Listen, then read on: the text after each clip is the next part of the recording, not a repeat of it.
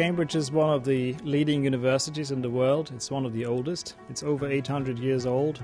There have been many Nobel Prizes in this uh, university, key discoveries in biology and physics and other sciences. It's the perfect place, really, to embark on this venture together with Infinitus and to start this Cambridge Infinitus Research Centre.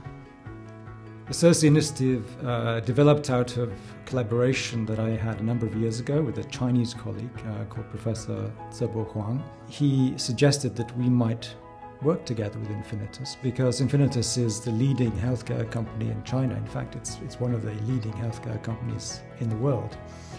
And the University of Cambridge is one of the leading universities in the world. And it seemed like a natural partnership for a research collaboration. The signing ceremony, uh, which established the existence of CIRCE here in Cambridge, took place on the 2nd of September 2015. The Vice Chancellor was, was present and he signed the documents along with uh, Dr. Tim Chin, who is the representative of Infinitus.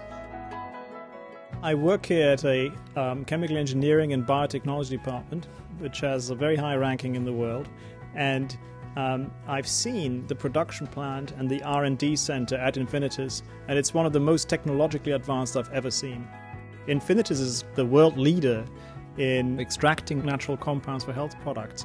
So what we do is we take the expertise that Infinitus has with our own expertise in advanced optical imaging and biochemistry and molecular cell biology to find what these products are doing, to see how they work in the cellular and in the um, organism level, and to find new products in that way. CIRCE is a unique uh, research center that really combines state of the art biophysical and biochemical uh, tools. And we use this uh, here in the center to study neurodegenerative diseases essentially. The equipment we use here is advanced biophysical tools that are based on fluorescence microscopy using state-of-the-art equipment, lasers, detectors, electro-optical uh, pieces of equipment to undergo uh, very precise measurements at the nanometer scale or at extremely fast time scales within biological samples. With these cutting edge technologies, we're able to study, for instance, amyloid fibrils, neurodegeneration, other aspects of neuroscience. Working with CIRCE massively accelerates the research progress that we can make. I think the uh, Infinitus collaboration and also their support has been tremendous. We, we now have many more uh, possibilities to uh, really push the field forward. It's great working here in these new labs, which CIRCE have helped to fund.